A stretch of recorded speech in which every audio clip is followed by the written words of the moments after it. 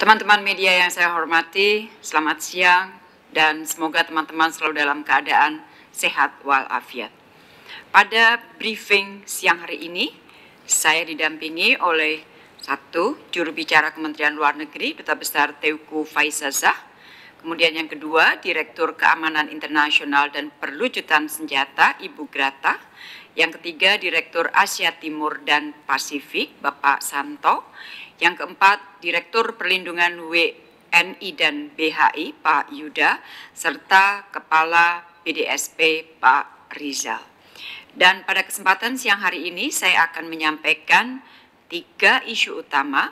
Yang pertama adalah pertemuan High Level Open Debate Dewan Keamanan PBB pada hari Rabu 12 Agustus 2020 semalam terkait dengan isu perdamaian dan pandemi. Isu yang kedua yang akan saya bawakan adalah mengenai pernyataan bersama para menteri luar negeri ASEAN dan yang ketiga adalah perkembangan pembahasan travel corridor dengan Korea Selatan. Teman-teman yang saya hormati, untuk kedua kalinya selaku Presiden Dewan Keamanan PBB, tadi malam saya kembali memimpin debat terbuka Dewan Keamanan PBB yang membahas mengenai pandemi dan tantangan terhadap upaya bina damai atau dalam bahasa Inggrisnya Peace Building and Sustaining Peace, Pandemics and the Challenges of Sustaining Peace. Tema ini merupakan tema yang sangat relevan untuk dibahas di dalam Dewan Keamanan PBB, yaitu bagaimana upaya-upaya perdamaian tetap menjadi perhatian dan prioritas semua negara di tengah pandemi ini. Selain dihadiri oleh seluruh anggota Dewan Keamanan PBB, pertemuan juga dihadiri oleh tokoh dunia dan pakar perdamaian untuk memberikan masukan mengenai perkembangan situasi bina damai di tengah pandemi, yaitu Sekretaris Jenderal PBB Antonio Guterres, kemudian mantan Sekretaris Jenderal PBB Ban Ki-moon, dan juga Direktur Center on International Cooperation New York University Sarah Cliff. Pertemuan ini juga dihadiri oleh Deputi Perdana Menteri Menteri Luar Negeri Vietnam, Menteri Luar Negeri Estonia, Afrika Selatan, Jerman, dan juga semua wakil dari anggota Dewan Keamanan PBB.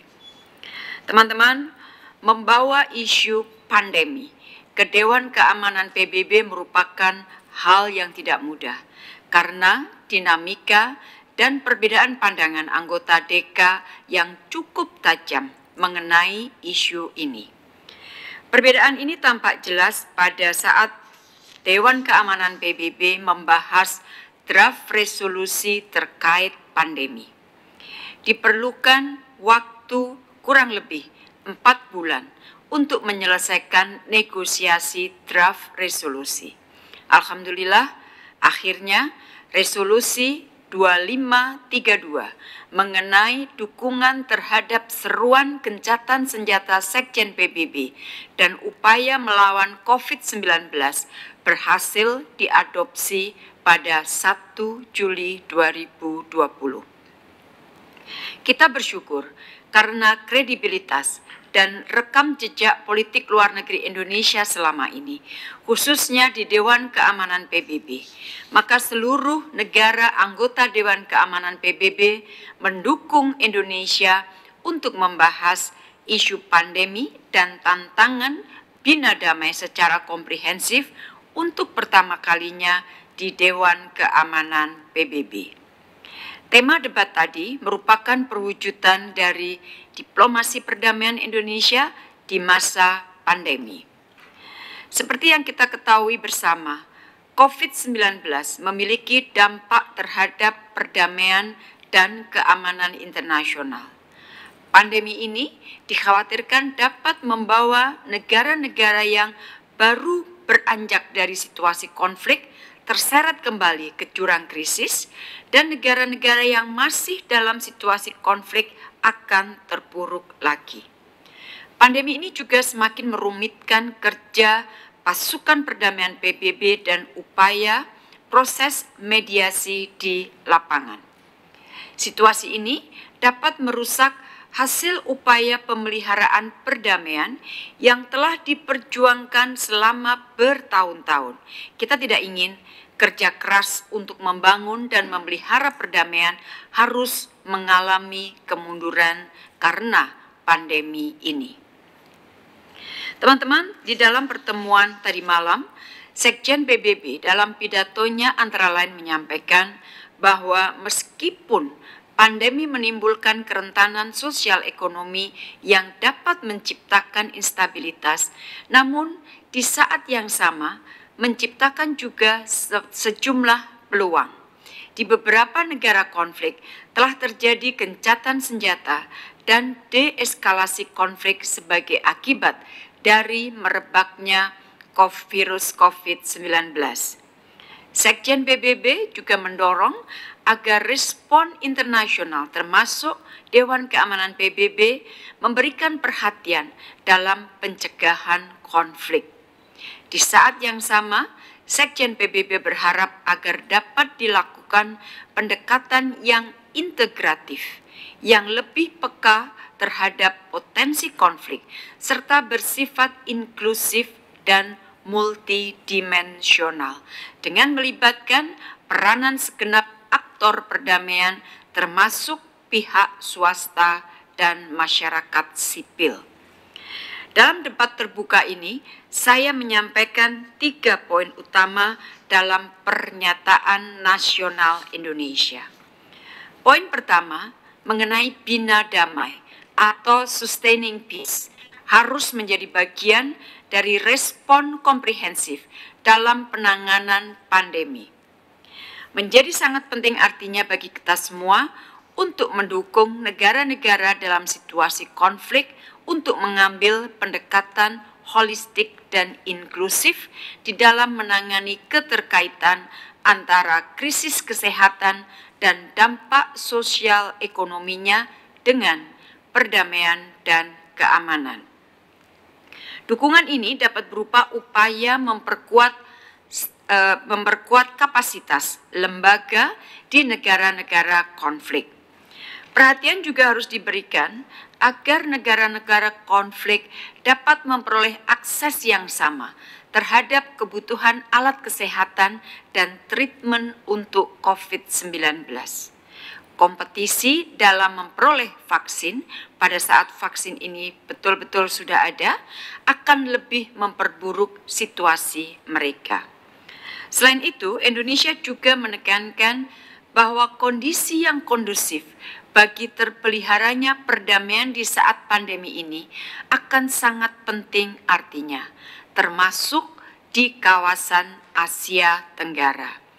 Dalam konteks inilah tadi malam saya menyampaikan bahwa Indonesia menyampaikan bahwa para menteri luar negeri ASEAN telah mengeluarkan pernyataan pada hari lahir ASEAN ke-53 mengenai pentingnya menjaga perdamaian dan stabilitas di kawasan. Isu yang kedua yang saya bawakan di dalam National Statement Indonesia adalah bahwa bina damai memerlukan sinergi yang kuat di antara semua badan di bawah sistem PBB. Semua badan PBB harus bekerja secara koheren untuk mengatasi pandemi dari seluruh aspek yang terkait, termasuk mengintegrasikan kerentanan potensi konflik dalam masa pandemi COVID-19. DKPBB misalnya harus memainkan peran untuk memastikan implementasi resolusi 2532 yang menyerukan penghentian kekerasan atas dasar kemanusiaan atau humanitarian pause selama 90 hari. Di lapangan, peacekeeping operation harus memiliki kapasitas untuk memantau risiko konflik yang diperburuk oleh situasi pandemi.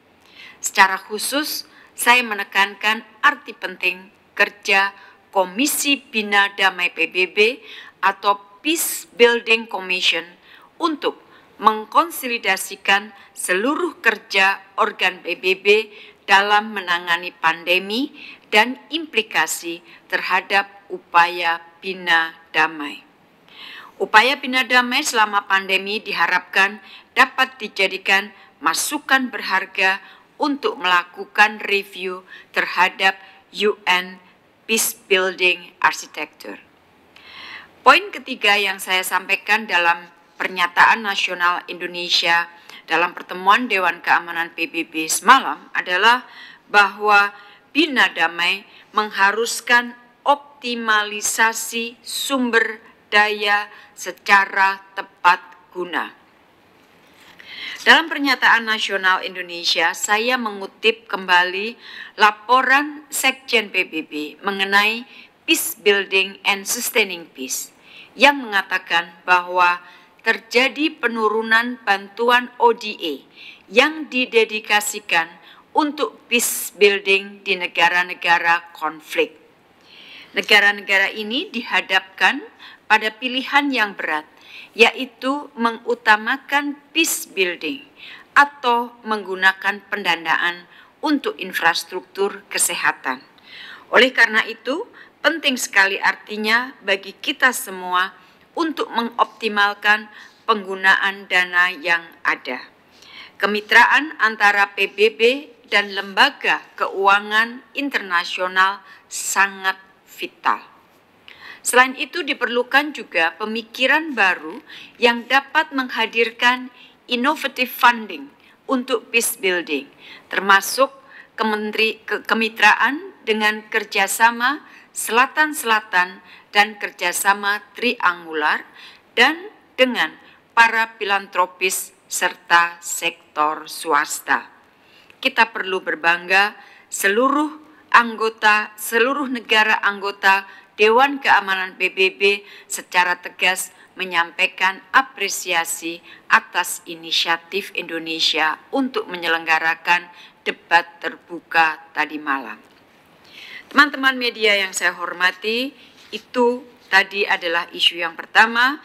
Sekarang saya ingin masuk kepada isu yang kedua, yaitu mengenai pernyataan atau statement yang dikeluarkan oleh para menteri luar negeri ASEAN pada saat peringatan Hari Jadi ASEAN ke-53 pada tanggal 8 Agustus lalu.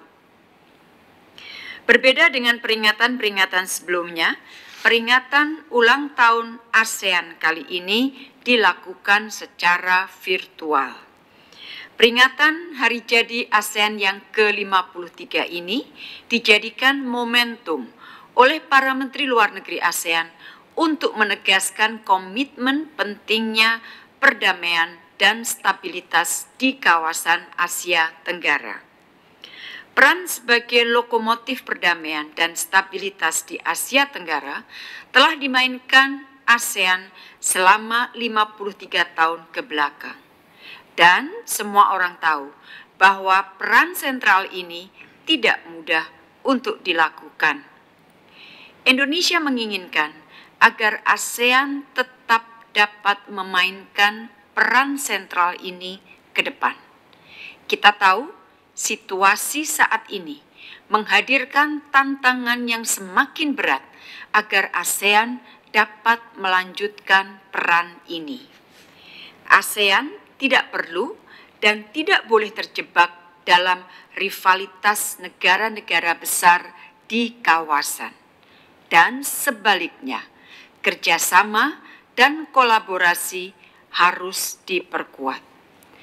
ASEAN justru harus terus memberikan dorongan bagi upaya memperkerat, mempererat kerjasama dan kolaborasi di kawasan. Teman-teman, berdasarkan pemikiran inilah, maka Indonesia mengusulkan kepada para menteri luar negeri ASEAN agar ASEAN dapat mengeluarkan sebuah pernyataan bersama agar komitmen terhadap prinsip-prinsip yang termaktub dalam ZOP dipertegas kembali. komitmen ASEAN terhadap Fund harus diperkuat kembali dan agar komitmen para pihak Treaty of Amity and Cooperation atau TEC juga penting untuk dipertegas kembali. Pada kesempatan ini, Indonesia, saya ingin menyampaikan apresiasi terhadap Vietnam selaku ketua ASEAN dan negara anggota ASEAN lainnya yang menyambut baik inisiatif Indonesia ini serta memperkuat draft yang telah disiapkan oleh Indonesia.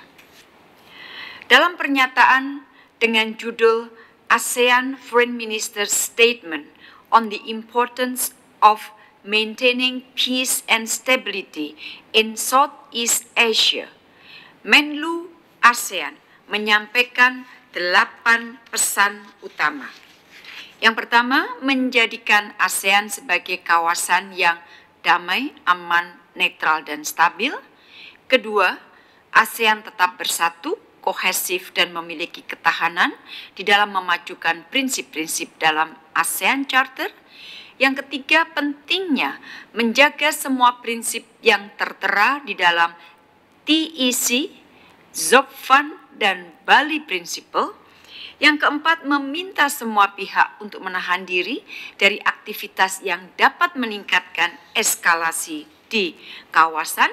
Yang kelima, meminta agar terus dibangun strategic trust di kawasan dengan cara-cara damai melalui dialog dan kerjasama. Keenam, menegaskan sentralitas ASEAN dan melanjutkan kerjasama dengan mitra ASEAN melalui ASEAN Lab Mechanism. Ketujuh, menegaskan prinsip yang ada di dalam ASEAN Outlook on the Indo-Pacific. Dan kedelapan, menegaskan dukungan terhadap prinsip-prinsip multilateralisme sesuai piagam PBB. Teman-teman, persatuan di antara negara ASEAN akan menjadi kunci kesuksesan ASEAN. Oleh karena itu, satu pesan yang saya kirimkan di hari jadi ASEAN yang ke-53 adalah ASEAN bersatu, ASEAN kuat.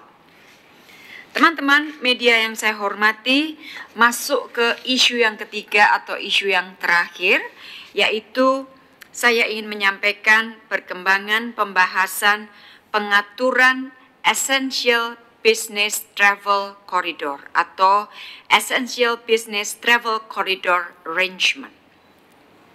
Teman-teman, sebelum memimpin pertemuan Dewan Keamanan PBB semalam, saya telah melakukan komunikasi dengan Menteri Luar Negeri Korea Selatan Kang Kyung, Kang Kyung Hwa. Kami secara khusus membahas finalisasi dari pembahasan kita mengenai pengaturan Essential Business Travel Corridor.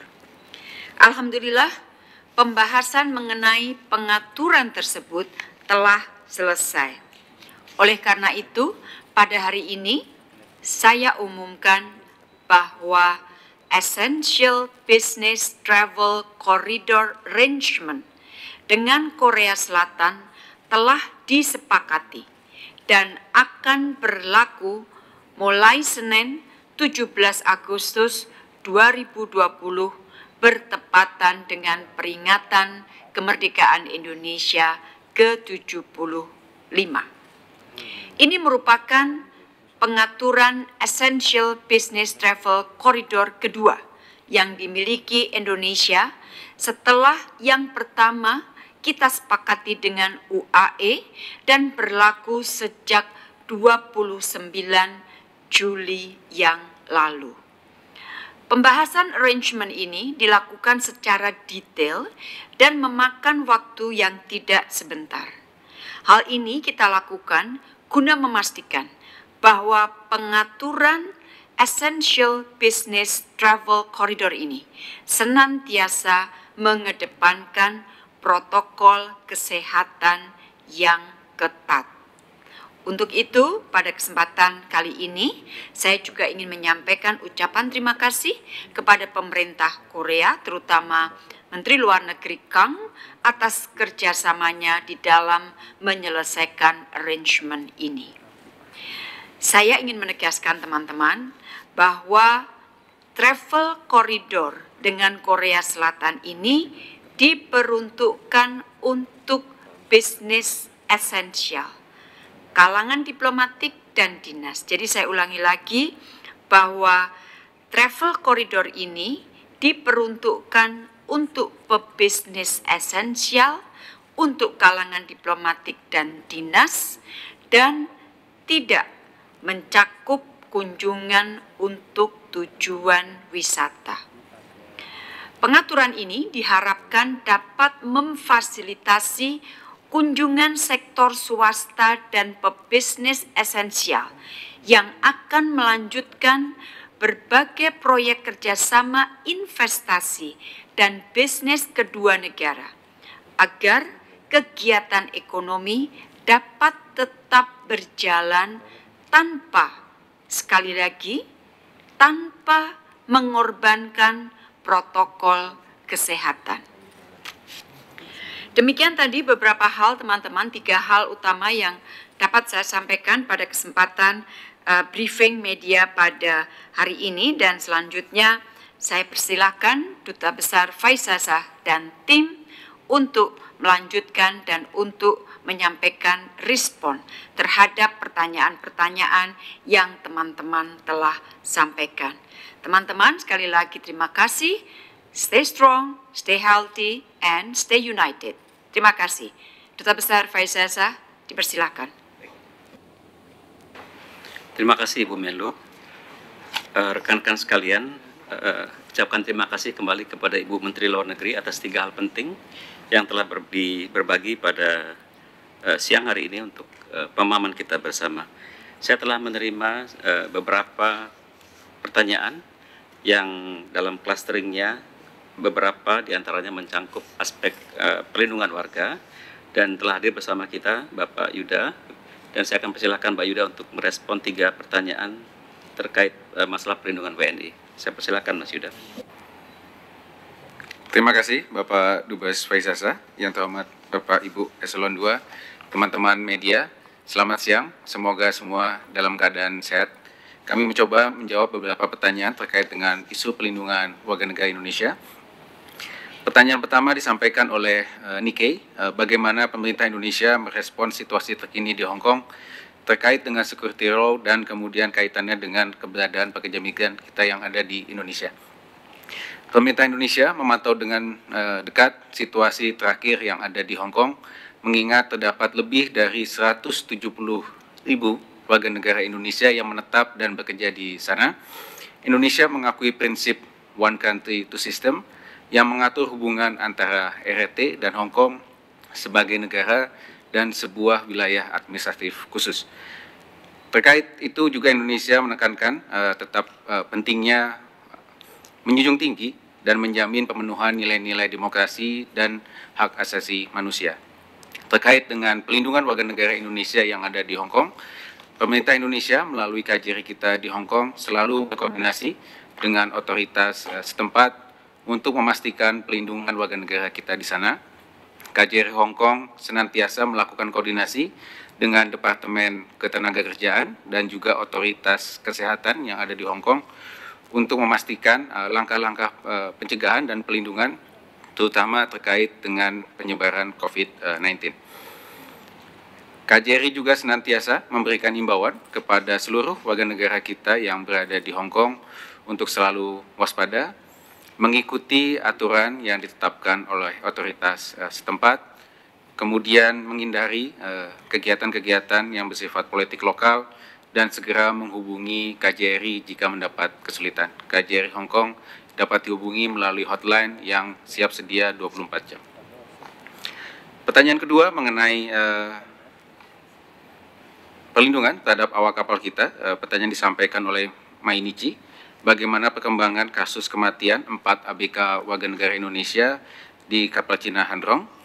Dapat kami sampaikan di sini bahwa sebagaimana telah disampaikan dalam press briefing sebelumnya, terdapat empat awak kapal ikan Indonesia yang meninggal di dua kapal ikan berbendera RT, yaitu Hanrong 363 dan Hanrong 368. Berbagai macam langkah telah dilakukan oleh KBRI kita yang ada di Kolombo, KBRI Singapura, KBRI Beijing, dan juga KJRI eh, Guangzhou. Langkah-langkah diplomatik juga telah dilakukan, antara lain melakukan pemanggilan terhadap Dubes RRT yang ada di Jakarta dan juga mengangkat isu ini langsung oleh Ibu Menteri Luar Negeri langsung kepada Menteri RRT pada pertemuan bilateral Indonesia RRT yang berlangsung pada tanggal 30 Juli 2020. Pada pertemuan tersebut, eh, Ibu Menlu menyampaikan keprihatinan Indonesia yang sangat mendalam atas berulangnya kasus yang menimpa awak kapal Indonesia di kapal berbendera RT dan meminta agar dilakukan penyelidikan secara menyeluruh termasuk penegakan hukum kepada pihak-pihak yang bertanggung jawab. Pada pertemuan tersebut, eh, Menlu RT telah menyampaikan komitmen untuk melakukan proses penyelidikan secara menyeluruh dan eh, sampai saat ini Indonesia menunggu hasil penyelidikan dan penegakan hukum yang dilakukan oleh otoritas RT. Di sisi lain, untuk memastikan pemenuhan hak-hak ketenaga kerjaan terhadap awak kapal Indonesia tersebut, Kementerian Luar Negeri bersama dengan kementerian lembaga terkait telah bertemu dengan para ahli waris dan juga telah melakukan pemanggilan terhadap manning agency yang memberangkatkan para awak kapal Indonesia tersebut. Dalam pertemuan tersebut, eh, seluruh hak-hak eh, almarhum berupa gaji, eh, deposit, dan santunan telah diberikan kepada ahli waris, sedangkan untuk uang asuransi segera akan dicairkan menunggu proses administratif penerbitan akta kematian. Segera setelah akta kematian eh, diterbitkan, uang asuransi dapat segera diberikan kepada pihak ahli waris. Pertanyaan ketiga dari Anadolu mengenai update eh, jamaah tablik Indonesia yang ada di luar negeri uh, dapat kami sampaikan berdasarkan catatan Kementerian Luar Negeri terdapat total 1172 anggota jamaah tablik Indonesia yang tersebar di 13 negara. Posisi saat ini 454 telah kembali ke Indonesia, 718 saat ini masih berada di luar negeri.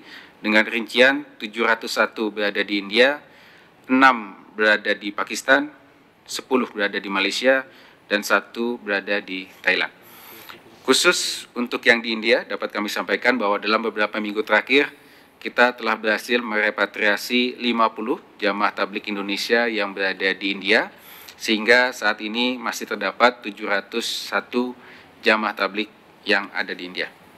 Dari 701 tersebut, 436 jamaah tablik berada di New Delhi, sedangkan 265 jamaah tablik lainnya berada di 11 negara bagian yang saat ini dalam berbagai macam uh, proses hukum. Dari 436 anggota jamaah tablik yang berada di New Delhi, 431 telah menyelesaikan proses hukumnya karena mengajukan plea bargain dan membayarkan denda Sedangkan lima jamaah tablik lainnya memilih untuk meneruskan proses pengadilan secara penuh karena mengajukan uh, not plead guilty. Bagi mereka yang telah menyelesaikan proses hukum, uh, dalam hal ini 431 yang tadi ada di New Delhi, sebelum pulang ke Indonesia, sebelum dapat pulang ke Indonesia, mereka tetap harus mengurus clearance dari Kementerian Luar Negeri uh, India dan juga exit permit keimigrasian dari otoritas imigrasi India. Dalam hal ini KBRI terus berkoordinasi dengan Kementerian Luar Negeri India dan juga otoritas terkait untuk memastikan agar proses administratif tersebut dapat segera diselesaikan. Sedangkan untuk uh, 265 uh, jamaah tablik yang berada di luar New Delhi 29 telah diputus bebas dan saat ini sedang pengurusan exit uh, permit. Indonesia, pemerintah Indonesia uh, dan juga KBRI kita yang ada di New Delhi dan KJRI kita yang ada di Mumbai akan terus berkoordinasi dengan otoritas terkait di India untuk memastikan repatriasi secepat mungkin anggota jamaah tablik kita ke Indonesia. Demikian Pak Dubes yang dapat kami sampaikan terkait pertanyaan isu pelindungan WNI. Terima kasih Bapak. Terima kasih Mas Yuda.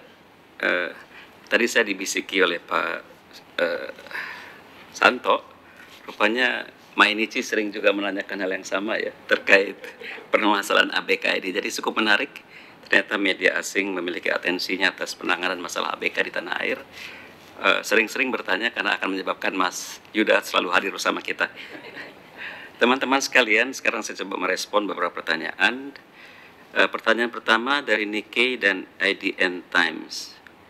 Rusia telah mengumumkan keberhasilan membuat vaksin COVID-19. Apakah Indonesia akan melakukan pendekatan negosiasi untuk bisa mendapat akses vaksin tersebut untuk bisa dimanfaatkan bagi masyarakat Indonesia? E, dari e, upaya kita untuk melakukan uh, identifikasi atas isu yang ditanyakan uh, yang dapat uh, kami sampaikan pada saat sekarang adalah sebenarnya menindaklanjuti pembicaraan pertelepon antara Presiden RI dengan Presiden Rusia yang dilakukan pada 13 April 2020 yang lalu telah diadakan pertemuan virtual antara Kementerian Kesehatan kedua negara antara Kemenkes RI dan Kemenkes Rusia pada tanggal 5 Juli 2020. Dalam pembahasan yang dilakukan, Uh, juga disinggung mengenai rencana kerjasama terkait vaksin, uh, penelitian di bidang teknologi kesehatan dan uh, teknologi kesehatan. Yang saat ini sedang kita coba dorong adalah adanya pertemuan lebih lanjut untuk membahas aspek-aspek teknis uh, kerjasama di antara kedua negara. Jadi sebatas itu yang bisa kita sampaikan pada sekarang. Uh, pertanyaan selanjutnya dari Jakarta Post dan IDN Times, beberapa KBRI menyebut di Twitter bahwa Indonesia sedang bersiap menerima turis. Boleh jelaskan ini mekanisme mekanisme seperti apa? Karena statement Kemlu terakhir masih menyatakan bahwa Indonesia hanya membicarakan membuka border dalam essential business corridor. Saya rasa Ibu Menteri Luar Negeri telah dengan sangat jelas uh, memberikan keterangan pada paparan beliau uh, pagi tadi mungkin teman-teman di perwakilan sangat bersemangat untuk uh, menikmati turisme di tanah air sehingga mereka aktif me mentweet betapa indahnya turisme di Indonesia. Namun saat sekarang pembahasannya lebih fokus pada penanganan essential business corridor. Uh, mungkin saya sekarang uh, mengundang Ibu Grata untuk merespon satu pertanyaan terkait uh, embargo senjata Iran di DKPBP. Saya persilakan Mbak Grata. Uh, terima kasih Pak Jubir, Pak Dubes Faizasyah atas waktu dan kesempatannya. Selamat siang teman-teman media, semoga semua dalam kondisi sehat. Uh, sebagaimana yang disampaikan oleh Bapak Jubir, saya akan mencoba menjawab pertanyaan terkait uh, rencana Amerika Serikat untuk mengajukan draft uh, rancangan resolusi perpanjangan embargo senjata Iran di DKPBB dan bagaimana Indonesia menanggapinya sebagai presiden dari DKPBB. Uh, Bapak Ibu teman-teman media sekalian tentu saja sebagai uh, Presiden Dewan Keamanan PBB yang memiliki tugas untuk memimpin dan mengkoordinasikan kegiatan kerja Dewan Keamanan PBB pada bulan Agustus 2020, Indonesia akan memfasilitasi pembahasan semua rancangan resolusi yang diajukan oleh negara-negara anggota Dewan Keamanan PBB. Termasuk dalam hal ini adalah rancangan resolusi usulan Amerika Serikat bagi perpanjangan embargo senjata terhadap Iran. Nah, sebagaimana diketahui bersama, rancangan resolusi Amerika Serikat ini difokuskan pada upaya perpanjangan limitasi transfer senjata dan travel ban terhadap Iran yang rencananya memang dalam uh, kerangka JCPOA akan uh, berakhir 18 Oktober 2020. Uh, eh, diusulkannya perpanjangan ini tanpa batasan waktu ya dan hanya dapat diakhiri dengan keputusan Dewan Keamanan PBB. Sesuai informasi, rancangan resolusi Amerika Serikat ini rencananya akan diambil keputusan dalam minggu ini.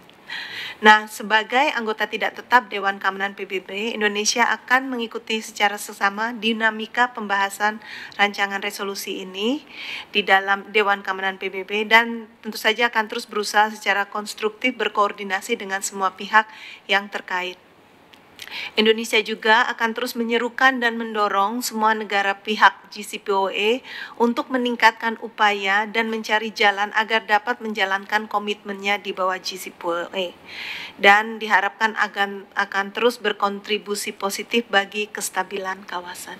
Demikian mungkin Pak. Terima kasih Pak Jubir. Teman-teman sekalian, ada beberapa pertanyaan terkait uh, isu regional. Nanti mungkin saya juga akan minta Pak Santo untuk membantu merespon uh, tapi saya coba uh, mencoba memberikan beberapa tanggapan atas hal yang ditanyakan. Tadi ada, ada pertanyaan dari uh, Australian Financial Review, Mainichi Asai Simbun, mengenai travel business, uh, business travel corridor, perkembangan negosiasi dengan RRT dan Korea Selatan dan ASEAN. Mengenai Korea Selatan tadi sudah disampaikan oleh Ibu Menteri Luar Negeri, mengenai negara mana lagi yang sedang dijajaki, uh, belum bisa kita ungkapkan pada saat sekarang, namun semuanya berproses karena tentunya uh, untuk bisa kita menyampaikan ke publik aduh, harus ada satu kenyamanan uh, dalam kedua pihak yang sedang menegosiasikan essential business corridor tersebut. Uh, mengenai ASEAN yang dapat saya sampaikan untuk uh, travel corridor arrangement dalam konteks ASEAN, Indonesia sudah menyampaikan konsep note on ASEAN travel corridor arrangement dan saat ini negara-negara anggota ASEAN sedang mempelajari dokumen tersebut. Uh, pertanyaan selanjutnya dari Australia, Australian Financial Review, bagaimana perkembangan RCEP? Apakah India telah menyatakan keikutsertaannya menaikkan RCEP? Ataukah RCEP hanya akan ditekan 15 negara? Bagaimana negara yang mengancam tidak akan menekan RCEP jika tidak menyertakan India?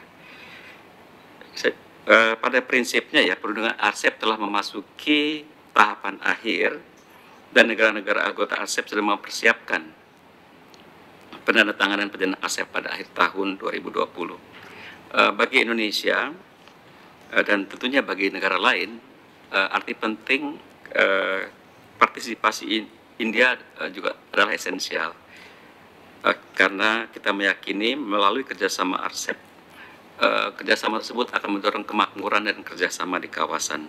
Oleh sebab itu, uh, at any time India wish to join RCEP, we are very much welcome.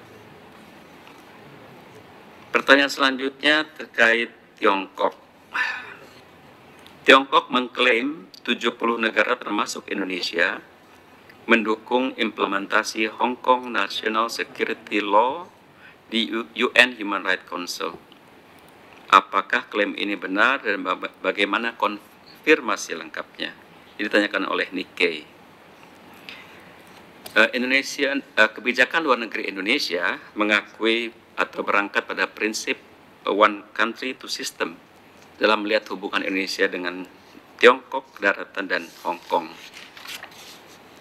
Uh, pada saat yang sama, tentunya sebagai negara yang menjunjung demokrasi dan pemajuan HAM, uh, kita semuanya berharap bahwa negara-negara uh, memberikan uh, perhatian yang positif dan pandangan yang sama atas arti penting HAM tersebut termasuk Tiongkok dalam hal ini. Hong Kong adalah satu negara yang sangat penting bagi Indonesia. Ma mohon maaf, Hong Kong adalah entitas, saya ulangi, merupakan entitas yang penting bagi Indonesia karena uh, merupakan mitra investasi uh, top 10 dalam beberapa tahun kalau kita melihat entitas Hong Kong merupakan uh, salah satu yang secara aktif melakukan investasi Indonesia merupakan uh, top 10 dalam hal investasi. Oleh karena itu uh, kita selalu menilai penting uh, peran Hong Kong dalam konteks sebagai hub kerjasama ekonomi dan keuangan di kawasan dan secara global. Rekan-rekan sekalian, pertanyaan selanjutnya mengkait pada negosiasi Code of Conduct di ASEAN. Dari AF, Australian Financial Review, negosiasi COC diperkirakan tidak akan mudah setelah 10 tahun baru sampai pada proses pembicaraan kedua atau second reading. Apakah akan ada penyelesaian politis terkait COC? Bagaimana Indonesia mengujuk China sebagai negara besar di Asia Timur untuk bersikap lebih generous dan melepaskan klaim nine lainnya? Padat sekali pertanyaannya nih, uh, eh, AFR Mbak Natalia ya. Uh, dari informasi yang saya dapatkan juga dari rekan-rekan yang menegosiasikan COC, ini, uh, saat sekarang teks COC uh, sudah memasuki second reading benar, uh, dan kita harus melihat kembali bahwa pembahasan negosiasi teks dimulai sejak tahun 2018 dan tercatat adanya kemajuan ya.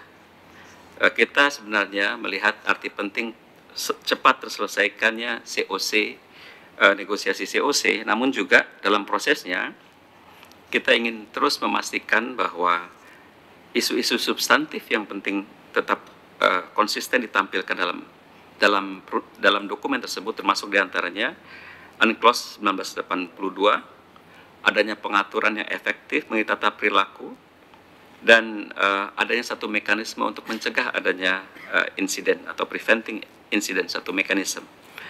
Dan ada juga satu uh, mekanisme untuk mengelola insiden apabila terjadi. Dan tentunya uh, dalam proses negosiasi COC tersebut kita juga mendorong terus berlangsungnya confidence building measures. Dan, uh, dalam hal bagaimana kita mendorong terkait uh, klaim nine days line ini tidak sebatas menjadi uh, concern atau kepentingan Indonesia, namun juga menjadi concern dan kepentingan negara-negara di kawasan lainnya. Ada pertanyaan dari uh, ABC Australia, apakah ada perkembangan terbaru mengenai Laut Cina Selatan?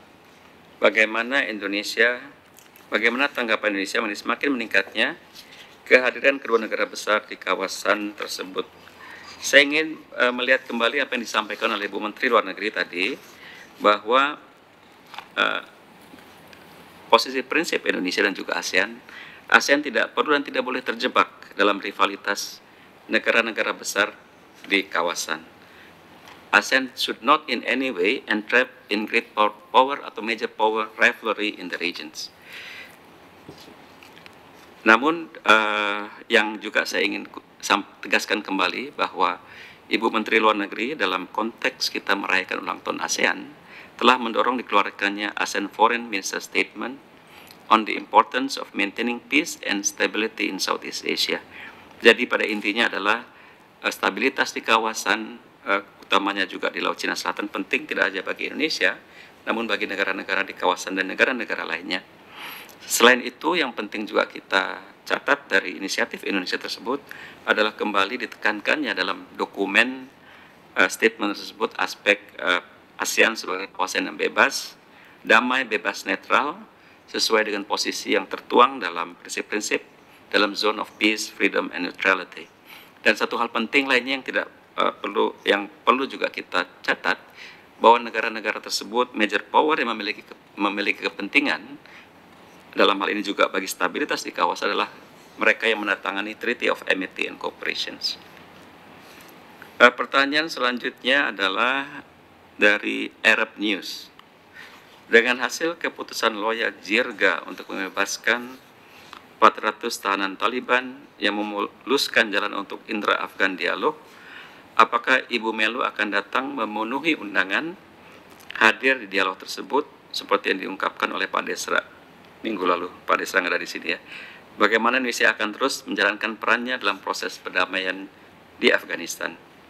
Pada prinsipnya Indonesia menghormati hasil keputusan yang disepakati pada Loya, Jir, Loya, Lo, Loya Jirga Afghanistan dan berharap perundingan intra Afghanistan dapat segera dimulai uh, pada pada saat pada waktunya nanti apabila ada undangan termaksud bagi penyelenggaraan perundingan intra Afgan Menteri Luar Negeri tentunya akan dengan senang hati memenuhi undangan tersebut. Eh, sementara itu, eh, Indonesia, posisi prinsip kita adalah kita menghormati satu proses yang Afghan owned, Afghan led, dan berharap perundingan intra-Afghanistan dapat menciptakan momentum positif dalam upaya mengakhiri konflik yang berkepanjangan di Afghanistan. Uh, selanjutnya ada pertanyaan dari ABC Australia mengenai oh saya saya pikir tadi artis aktivis Veronica Koman.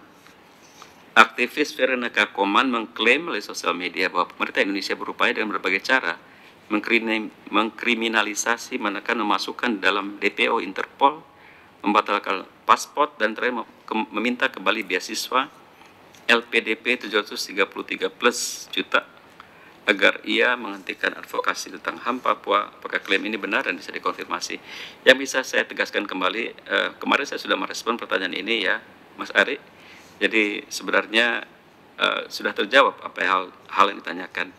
Eh, namun saya juga mencatat bahwa pihak LDP, LPDP juga sudah mengeluarkan press release tadi malam. Dengan demikian sudah jelas apa yang menjadi konsideran bagi uh, penyampaian permintaan mengembalikan uh, beasiswa yang diterima oleh yang bersangkutan. Silakan dibaca rekan-rekan sekalian isi dari press release pre, press release LPDP tersebut yang secara jelas memuat uh, konsideran mengapa uh, hal itu dimintakan. Rekan-rekan sekalian uh, sudah semua pertanyaan sebenarnya terjawab. Uh, kami membuka mungkin uh, kalau ada yang follow up questions jangan banyak-banyak dua cukup ya. Terima kasih maaf nggak buka video nggak apa-apa ya Oke. Uh, ini bukan uh, terkait dengan solusi pembahasannya. Uh, apakah sudah ada tanggal yang ditetapkan misalnya dengan perkiraan pandemi ini selesai pada tanggal sekian akan di uh, dilunjukkan pada tanggal sekian? Baik, itu Mbak ya. Ya, Oke, terima kasih. Uh, Oke, terima kasih kembali. Uh, sampai saat sekarang belum ada uh, tanggal yang kita bisa ancer-ancer uh, terkait pertanyaan disampaikan. Memang idealnya untuk isu-isu yang bersifat uh, strategis, uh, idealnya format perundingannya adalah secara face to face ya. Namun kondisi uh, kondisi COVID saat sekarang tidak memungkinkan hal itu. Namun pastinya negara-negara ASEAN dan Tiongkok uh, semuanya bersepakat untuk menyelesaikan COC eh, ini pada waktunya dan bagi Indonesia sendiri semakin cepat kita mendapatkan satu kesepakatan semakin baik uh, tentunya satu apa code of conduct yang juga di dalamnya memuat elemen-elemen penting posisi-posisi prinsip yang saya sampaikan tadi. Uh, yang yang pokok yang bisa saya sampaikan adalah uh, semua pihak tentunya sangat ingin agar ada penyelesaian COC yang tepat waktu dan dalam konteks isinya benar-benar sudah merefleksikan kepentingan semua pihak dan juga sudah mencakup posisi-posisi prinsip. Jadi proses inilah yang sedang berjalan untuk mencari titik temu, mencari kesepakatan bersama. Dalam satu perundingan tidak uh, lazim kita menetapkan satu target karena apabila target itu terlampaui, maka akan muncul pertanyaan-pertanyaan mengapa kita tidak bisa menyelesaikan satu perundingan sesuai waktu yang sudah di-announce atau disampaikan. Justru dengan kita sisi lain menetapkan target waktu juga memberi dorongan agar semua pihak dapat uh, memberikan extra efforts untuk menyelesaikan perundingan itu sendiri. Jadi semua ini semua segala sesuatu sedang berjalan pada tracknya dan harapan kita uh, dinamika yang berkembang saat ini di kawasan juga memberikan dorongan dan pemahaman bersama bahwa sangat penting bagi kedua pihak untuk segera menyelesaikan perlindungan uh, perundingan Code of Conduct. Uh, ada dari Ismi, Nikkei, review. Ya. Uh, selamat siang. Uh, follow up sedikit kalau bisa dikonfirmasi untuk yang 4 ABK meninggal di dua kapal Tiongkok itu uh, mungkin detailnya bisa di, disebutkan lagi uh, izin Pak Uh, dan ini apakah berbeda dengan kasus-kasus terdahulu? Uh, kalau bisa diterangkan lagi itu kejadiannya tepatnya kapan dan di perairan mana ya? Uh, terima kasih. Dengan senang hati saya persilakan Mas Ida. Siap, terima kasih Mbak. Uh, dapat kami sampaikan uh, terkait dengan yang tadi kami sampaikan kejadian meninggalnya 4 ABK WNI di dua kapal ikan RT jadi kami sebutkan di sini almarhum D uh, meninggal di kapal Hanrong 363, lalu almarhum AS, almarhum R, dan almarhum AW meninggal di Hanrong 368. Jadi empat peristiwa kematian tersebut terjadi antara bulan Mei hingga bulan Juni 2020. Uh, kemudian berbagai macam upaya telah dilakukan uh, oleh tadi kami sebutkan KBRI kita di Kolombo, uh, kantong 638 ada di sekitar uh, perairan Sri Lanka. Lalu kemudian uh, almarhum D dan AS uh, dipindahkan ke kapal Fu Yuang Yu 059. Sedangkan almarhum R dan almarhum AW tetap berada di kapal Hanrong 368. Berbagai macam upaya telah dilakukan oleh KBRI kita di Kolombo, KBRI kita di Singapura, KBRI kita di Beijing dan KBRI kita di Guangzhou untuk menyampaikan agar jenazah dapat dipulangkan ke Indonesia.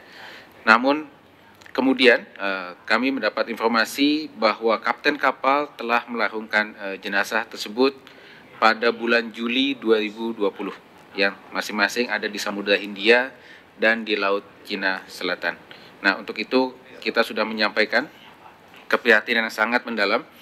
Uh, kita tidak bukan hanya karena pelarungan itu uh, dilakukan setelah kita meminta agar tidak dilakukan dan meminta agar jenazah dapat dikembalikan ke Indonesia, namun uh, pelarungan itu tentunya dilakukan sebagai pilihan terakhir, last resort ketika seluruh prakondisi memang sudah uh, terpenuhi. Nah untuk hal itu kita sudah sampaikan uh, rasa kepikiran kita yang tadi kami sampaikan baik kepada Duta Besar RT yang ada di Jakarta maupun oleh Ibu Menlu langsung kepada Menlu RT pada pertemuan bilateral Indonesia RT tanggal 30 Juli 2020. Demikian Mbak. Masih ada lagi Mbak? Oke. Okay. Uh, saya mau tanya soal ini Pak. Uh, oh sorry. Dengan Korea. Ini, ini itu nanti. Dia. Dia dia. Oke Mbak Dia. Silakan Mbak Dia.